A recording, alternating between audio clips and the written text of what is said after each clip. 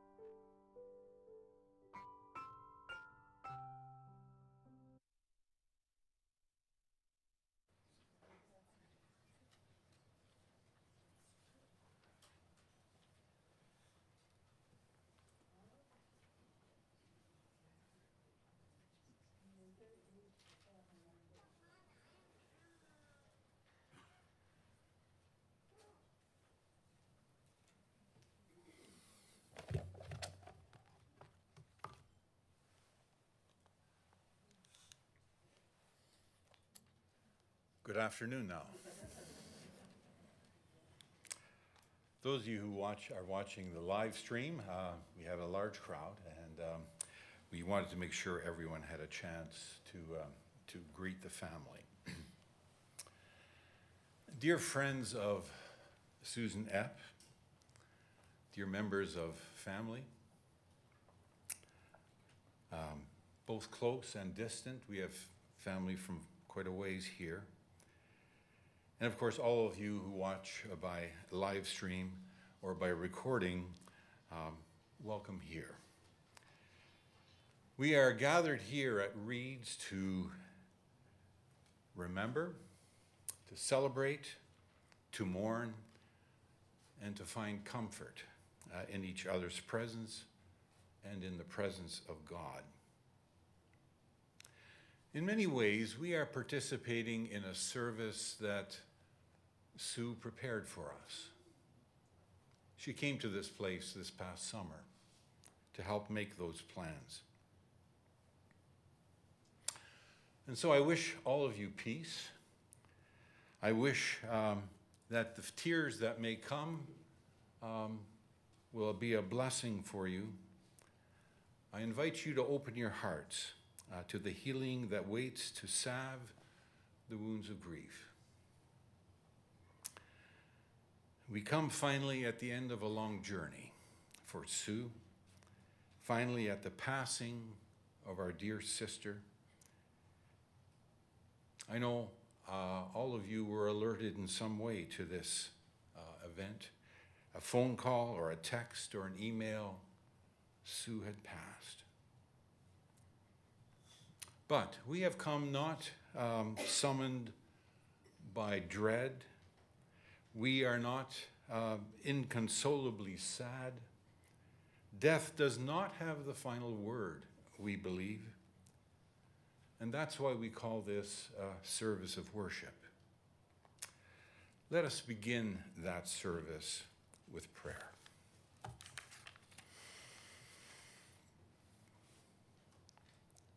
Lord our God, you are great, you are eternal and utterly to be trusted. You give life to each of us, and now your spirit of comfort and hope wants to descend upon us. Set our hearts at peace so we may bring our thanks and our needs before you without fear. We pray in the strong name of Jesus Christ. Amen. You are a singing congregation, I am told. So we will sing. Um, the song, uh, a, a, lovely hymn, uh, a favorite now. In the bulb there is a flower. Let me read the first, the second verse to you.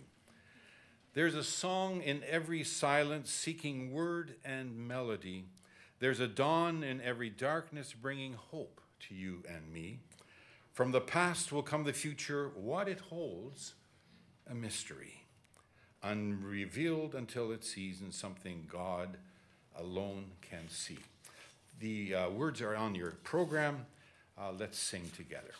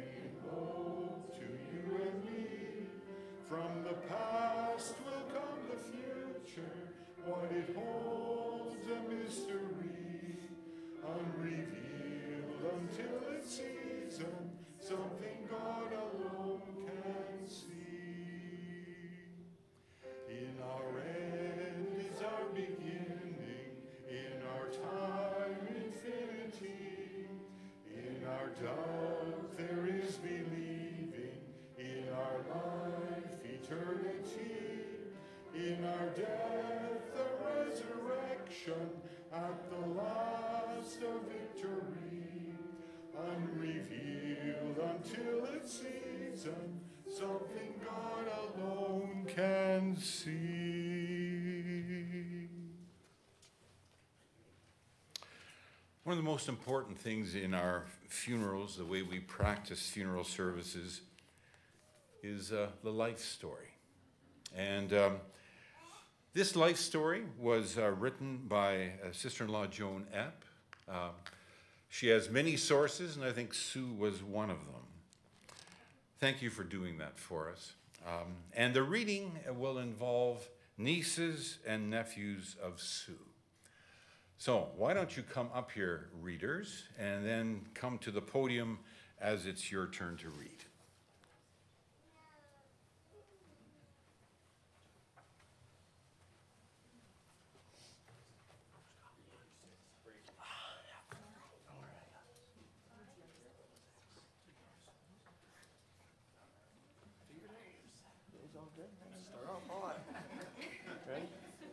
All right.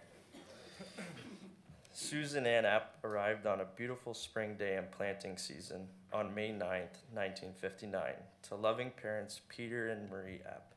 Daddy's little girl grew up on the family farm in Blytheswood, Ontario, alongside her four younger brothers, Danny, Kenny, Ronnie, and Eddie. She loved these busy boys and cared for them like a mother hen.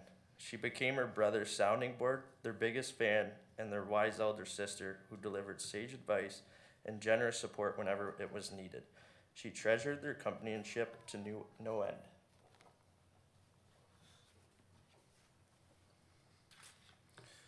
Susie Q, as Doc McLean called her, was the epitome of positivity. Being diagnosed with lupus as a teenager never held her back from achieving her goals. Picking tomatoes or pickles, feeding chickens, doing household chores, and working the counter at the Blytheswood Country Store all helped to develop her strong work ethic, but her dreams lay in the field of education. After all, she was herself a model student throughout Blytheswood Public School, UMEI, and Leamington High. Apparently, she was also the most fun babysitter in the neighborhood. Who better to shape the hearts and minds of young children?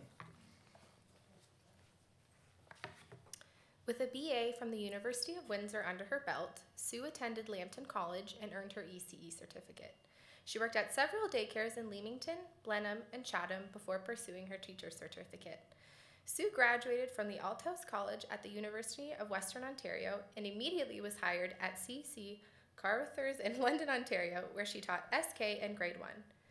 In two years' time, she transferred to FD Roosevelt Public School, where she taught JK to grade 2 slash 3. She was an organizer, a leader, a no nonsense, exemplary teacher who engaged her students to learn and pushed them to succeed academically, socially, and emotionally.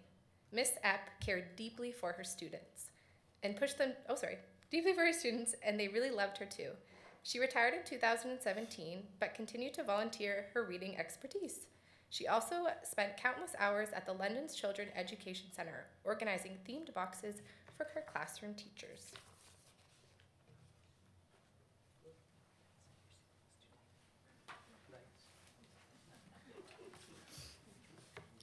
In every school she attended or taught at, Sue made lasting friendships. She relished her time with close friends and colleagues. The road trips across the province, impromptu shopping sprees, concerts, theater events, game nights, and dinner parties were the best. Sue was always the designated driver, of course, not only because her health demanded it, but because she wouldn't have it any other way. She kept her besties safe and sound, and they were equally devoted to her as they created great memories and supported her through her most challenging days. While Sue's professional life provided a deep sense of purpose and a place to make connections, her faith community was a source of strength. Her first church was the North Leamington United Mennonite Church, where she attended Sunday school and was baptized. When she moved to London, Ontario, she joined the congregation of Valley View Mennonite Church. Here she continued to worship with those who shared her devotion and charitable nature.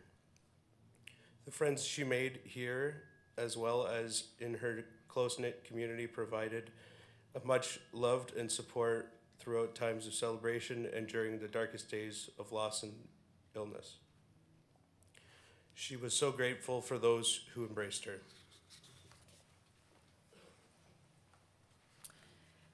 Family ties were high on Sue's priority list. Growing up in a myriad of fun loving cousins was awesome. Visiting the Jansen crew in Beamsville or making the trek out west to celebrate with the Peters clan were highlights for her. She loved her adventures abroad as well as gath- local gatherings with the Epp and Peters cousins from Leamington.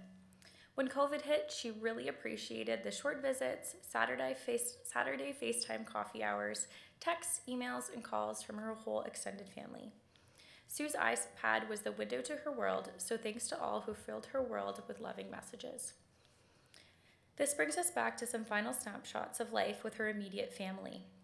Combine rides with her dad, preparing holiday festivities with her- mom, playful teasing with her brothers, playing ball hockey ball in the backyard, Sunday school concerts, highly excitable euchre games after eating a big turkey dinner with apple stellen for dessert, crokinole and Skip-Bo with Dan, birthdays, baptisms, graduations, and family lunches at Colasanti's.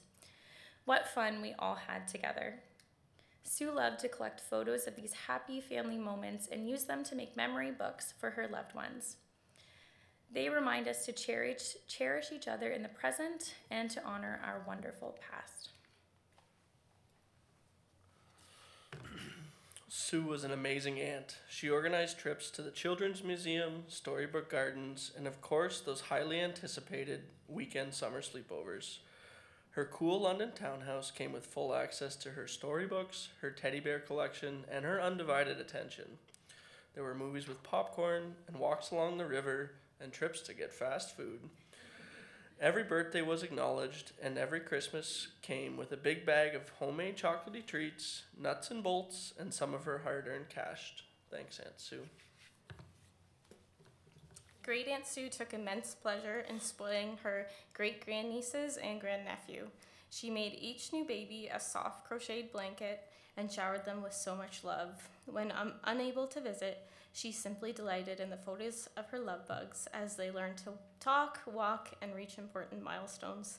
Their su- successes were her successes, their joys were her joys. In her final years, Sue bravely battled B cell lymphoma, low blood levels, frequent infections, and leukemia. Her mom was her strength and stay, constant by her side. Her puzzle mate, her reading buddy, her chef, and her loving caregiver. Today they soaked in the beauty of river walks and the happy endings. Together, sorry. Of the Hallmark movies she loved so much, her mom was the best friend and she appreciated her more than any of us will know.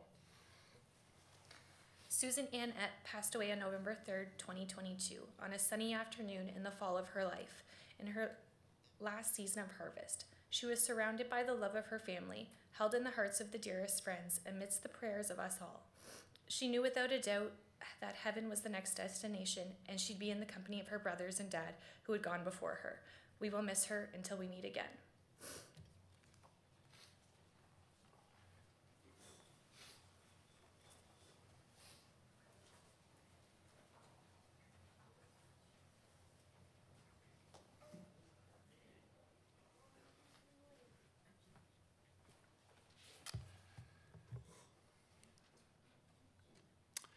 Music was very dear to Sue, and um, both melody and lyrics are one of the best ways of responding to a story like that. And um, Ken and Joan's youngest, uh, Jessica, has agreed to sing for us. Uh, the song is Oceans.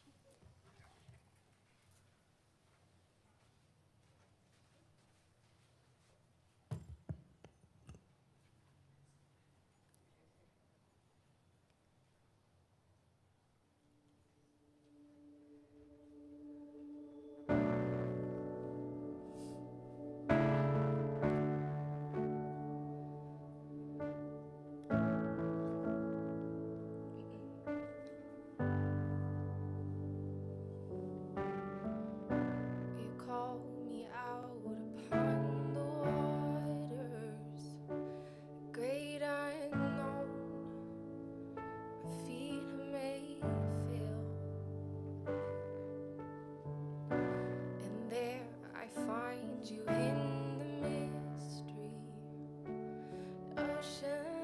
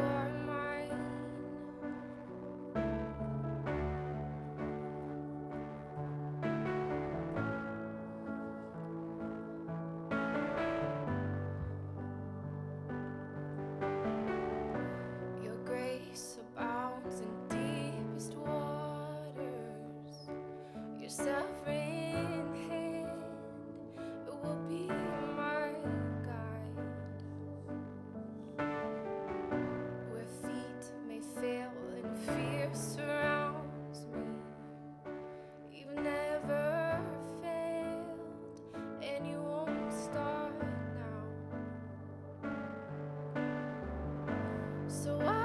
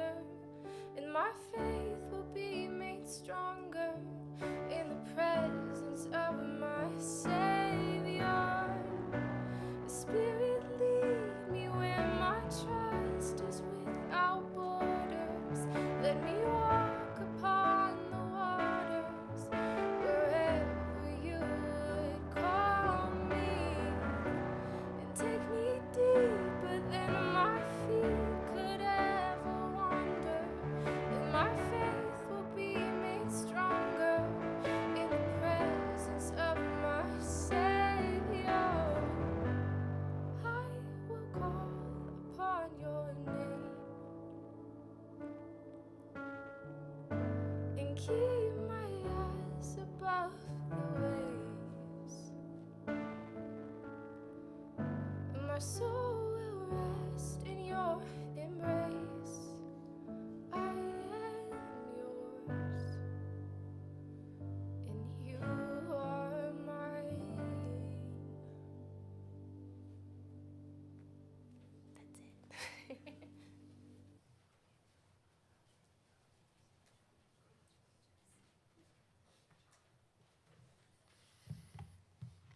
you for that gift.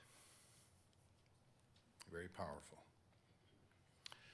We want to hear from uh, script from the scriptures now. Um, our readers are three women. Uh, there are three cousins.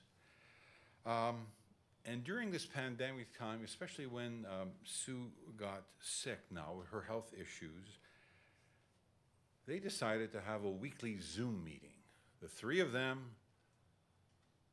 plus Sue. Um, it was on Saturday afternoons at 2 o'clock, standing appointment. Uh, I've never been a part of it, so I don't know what all went on. Um, no, I, well, I do have an idea, but um, those three cousins are Ann Reimer, Linda Thiessen Belch, and Deb Froese. Um, what a, a blessed uh, gift to have here at the uh, near the end of Sue's life. And they will come forward and read scripture for us. Um, Psalm 1 and 121 was Sue's choice. and that will be read. And then I chose two passages from Romans 8. Come on up, please.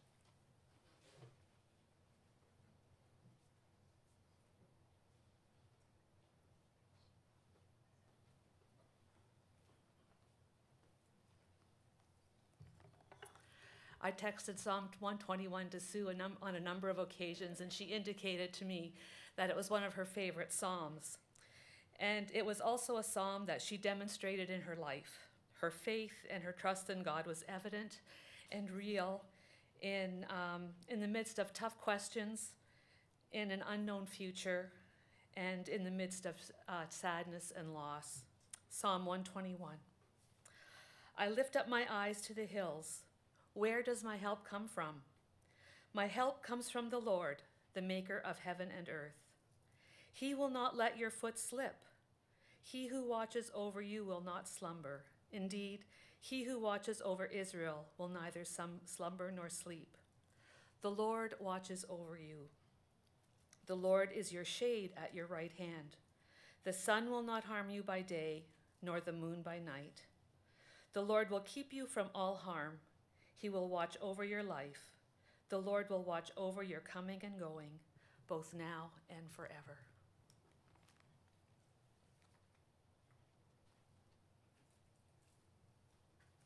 Romans 8:28 and we know that God causes all things to work together for good to those who love God to those who are called according to his purpose.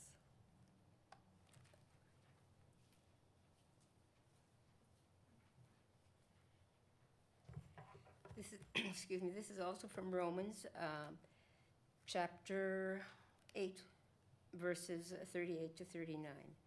For I am convinced that neither death nor life, neither angels nor demons, neither the present nor the future, nor the powers, neither the height nor depth, nor anything else in all creation will be able to separate us from the love of God that is in Christ Jesus our Lord.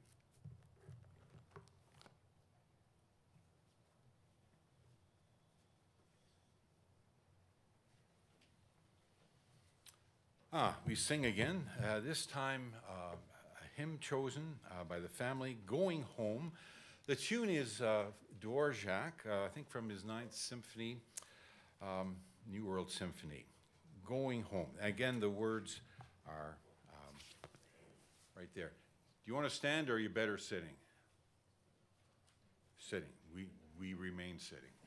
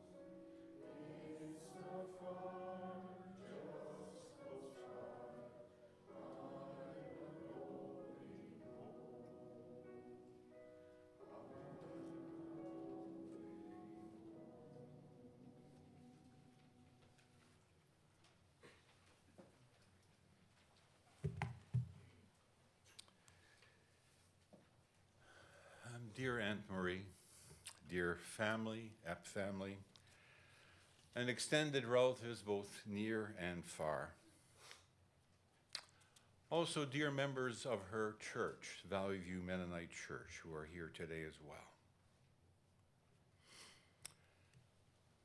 So, we're here to celebrate and to remember, but we're also here to grieve and hurt as we remember Susan Epp now gone from among us. Even those of us who lived far from London's, uh, Sue's London home, often kept an eye out or an ear out for how she was doing over the years. I know I did. But her health struggles, how she bravely and optimistically kept that fight for health going. Sometimes there was hard news, difficult health news. And then we would hear about some accommodations that she had made and some hope expressed about how this difficulty could now be overcome.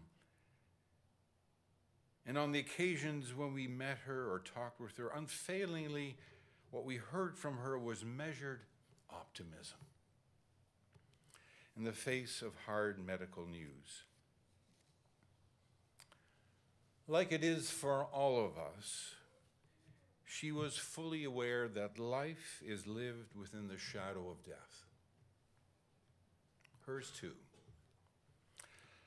But life was worth living for Sue, and she gave it her all.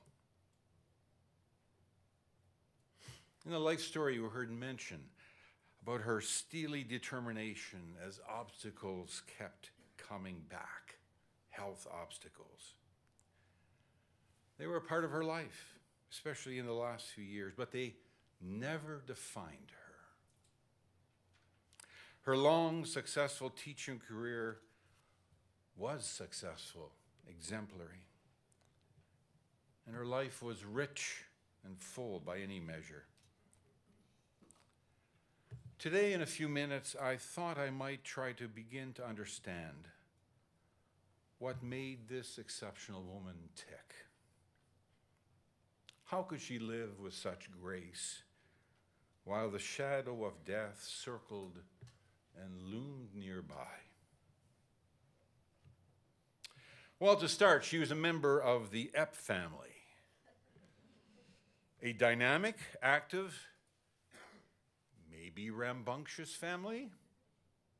Is that fair, Ed? Yeah. After all, they were the children of Peter Epp. At least that was my impression. Uh, last week I gathered with the family, we looked through some family albums. That was fun. But as I remember your family life, I am also reminded that you are a family that is acquainted with grief. And you know the deep griefs I speak about Ken's tragic accident, Dan's long struggles with epilepsy. You all, including Sue, have been a family that has borne much. You are acquainted with grief. Now, I use an expression coined by the ancient prophet Isaiah, an understatement if I ever heard one. I said you are acquainted and hurt by grief, but you are not defined or limited by it. We saw that in Sue Epp. She was a practicing Christian believer. Of that, we have lots of evidence. She was by nature an optimistic, happy person, despite finding, fighting health battles for almost all of her life. Um, diagnosed with lupus as a teenager. but she carried this grief with you. How did she manage this for 63 years of life? For answers, I want to look at these three passages that were read for us just now. These scriptures come go to the heart of faith, Christian faith. First, Psalm 121. I can see why it was a favorite. It has inspired generations of believers. The imagery of soaring mountains and the Creator who is mirrored in these lofty peaks. And the psalmist is confident, quietly confident God will not let your foot slip. And you get the sense that the writer is on a journey through these mountains. Mountain passes are dangerous places high cliffs, rocky outcroppings. And it's a bit ironic that the psalmist looks to the mountains for help because that's precisely where the danger also lies. That's where the robbers would hang out waiting for the victims below. That's where the rock falls would come from. That's where the wild animals would hide. It's where danger lurked in the mountains. But the psalmist is filled with assurance that these great natural monuments, these mountains, pointed towards a God, a creator that is the giver of life, the God who has a special relationship with humans, who in turn understand and long for that God. In fact, the last stanza uh, of, of that poem. The Lord will keep you from all harm. He will watch over your life. The Lord will watch over your coming and going both now and forever. What a statement of faith and trust. It's not that the Psalms don't have other realities too. In Psalm 103, we read, God knows that we are dust. We live our three score and ten, and then we are dust. We're gone. The wind blows over it, and we are gone. Our lives are short. Our lives are troubled by enemies, by health issues, by troubles of our own making, and apparent bad luck. But the psalmist boldly states he has full faith that finally our essence is not harmed. We will be watched over, both now and evermore. I think Sue lived this faith out. She believed this. I'm told her attitude was this to the problems in life there's a solution in every problem and I've got to work puzzling it out. Understand, she loved puzzling. Yeah. But of course, have you ever had a puzzle where there are pieces missing? you find out at the end, where the pieces are broken. But she had that faith. The puzzle does have a solution. And she faced the headwinds of life squarely. As each complication presented itself, she did her very best. And this faith sustained her until the end. The Romans passage. And we know that all things, uh, uh, we, we know that in all things God works for the good of those who love him and who have been called according to his purpose. Well, this is a passage that has often been misused or cheapened or misread. Everything will be hunky dory if you have enough faith, some people would say. If you're having trouble, maybe you don't have enough faith. This kind of interpretation is a blow to those of us who stumble along in life, who experience the problems of life in multiples. So, what do we make of illness and tragedy then? Does this verse imply that God is not working for the good of those people who stumble? What of someone who gets lupus in her teenage years, for example? No. I think this passage does the opposite. It reinforces the testimony of the psalmist. The Lord will watch over your coming and going now and forevermore. So, how did this play out in Sue's life? Did that lupus diagnosis sour her on life? No.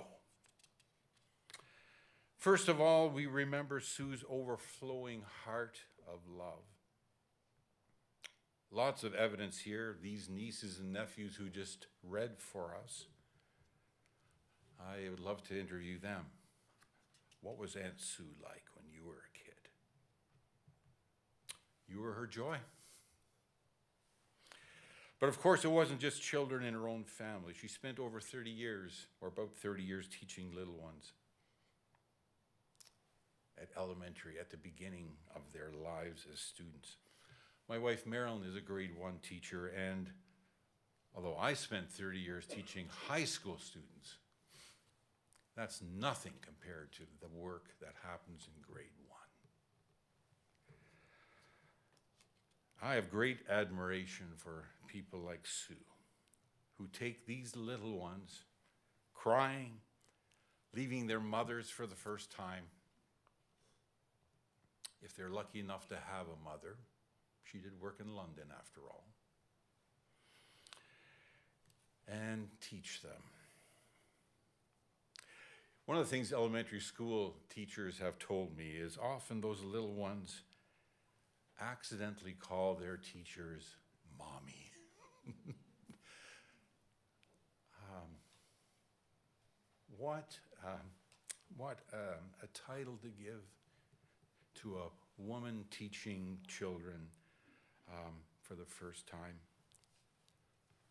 I'll mention my kindergarten teacher, Mrs. McClure. She was my teacher. I uh, fondly, fondly remember her.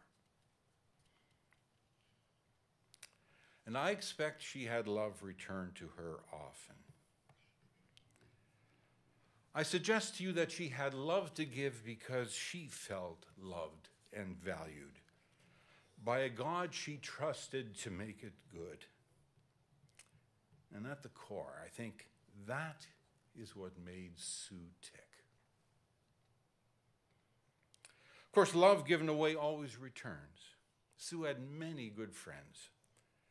Some of you are watching from afar, relatives, friends.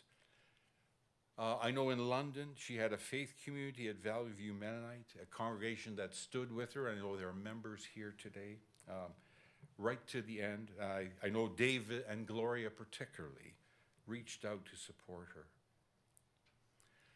And I've heard many stories about a neighbor where Sue lived. Someone who offered his car, his time to take her to appointments. The name I have, Jim and Brenda, I hope that's right. Love returned. Such love touches us all deeply. And Sue's love had its origins in the love of God for her. Sue was truly a child of God. But she was also the child of her mother, Marie. Another gift of God. Marie, someday a pastor will write a meditation reflecting on your faith and your life, and that's as it should be. But I need to say something about you in this sermon, too. I said earlier that yours is a family that is acquainted with grief. You've carried much in your life. And now, once again, you are called to carry more. You willingly moved to London to help Sue in this hard time. I know Sue was deeply grateful, and so are we all. We Mennonites don't deify our saints, we don't pray to them, But in your graciousness, Marie, in your generosity of spirit, in your unfailing optimism, you inspire us all. I know your faith in God has carried you too, but your faith helps us carry our lives too. Thank you for the way you and Sue carried this burden together. You've inspired us. And so, Romans 8, boy, it's Paul's best stuff if you read all of his letters. This is the high point. Ends it with this I am convinced that neither death, nor life, nor angels, or demons, neither the present, nor the future, nor any powers, heights, or depths, or anything else in all of creation will separate us from the love of God that is in Christ Jesus our Lord. The passage lifts us up. And you'll hear that again shortly. Uh, Maddie's going to sing for us that, that song. And keep this text in mind as she sings. Love will never let us go, Paul cries. God will never let us go. And so when Sue asked the doctors to give up the experimental treatment last week, she was not giving up. She was not throwing in the towel. She was giving herself to the God who has assured her that he would take this tired and worn body and bring her home. Now nothing could separate her from the love of God, and nothing could separate her from the love of Jesus, her Lord. For this faith in Sue's life, we give thanks. For this hope, we give thanks. But it's not only the Epp family that's acquainted with grief. So are we all in some way. Each one of us carries the marks of life, of tragedy within us. I wish faith enough for each of you to bear your burdens with hope and joy and faith. Sue, thank you for showing us a way to live life with faith. Thank you. I invite Maddie Ham forward to uh, sing for us, friend of the family.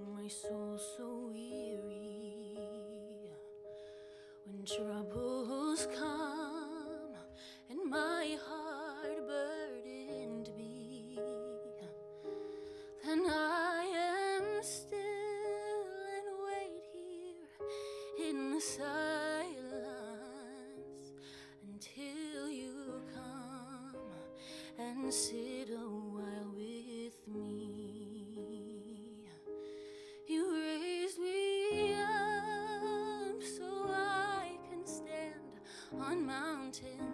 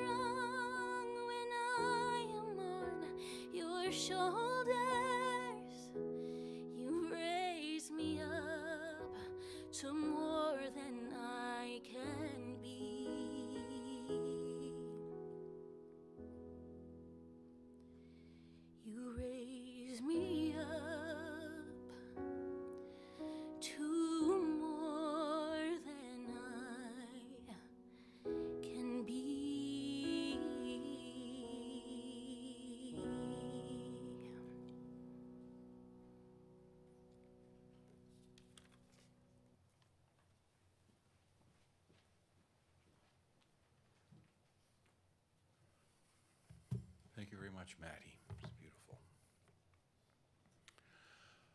Our service draws to a close. Um, a couple of announcements.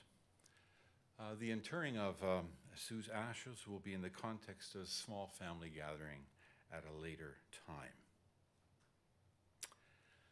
And then, um, the family is overwhelmed by the support they have felt from you. How many of you have come? They are slightly surprised. Um, there is a meal uh, that is prepared in, in the southwest corner of this building. We're about 130 or so here. It's set for 100. I will say no more than that. Yeah.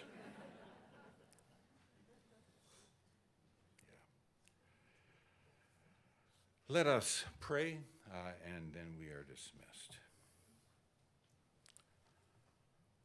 God, we come to offer you thanks for what you have done for us through Jesus Christ. By giving Jesus to live and die for us, you have disclosed your gracious plan for the world and shown that your love has no limits. By raising Christ from the dead, you have promised that those who trust in him will share his resurrection life. For the assurance and hope of our faith, and for all those who have you that you have received already into your eternal joy, we say thanks. We lift up our hearts in gratitude for the life of Sue Epp now gone from among us, for all your goodness to her through many years, for all that she was to those who loved her, and for everything in her life that reflected your goodness. We give thanks for her faith through many seasons. We give thanks for those who supported her we give thanks for those who prayed for her and with her. God, you teach us always, and in this life you have, you have taught us too what it means to follow you. Surround us and all who are mourning today with your unending compassion. Don't let grief overwhelm us or be unending or turn us against you. And then we ask, guide us on the, on the course of our own journeys. Help us to live that we might not be ashamed when we meet you on the last day. Bring us in the company of all the redeemed to your eternal kingdom through Jesus Christ. And now, Sue Epp, may God bless you and keep you. May the very face of God shine on you and be gracious to you. May God's presence embrace you and all of us and give us peace. Amen. Go in peace.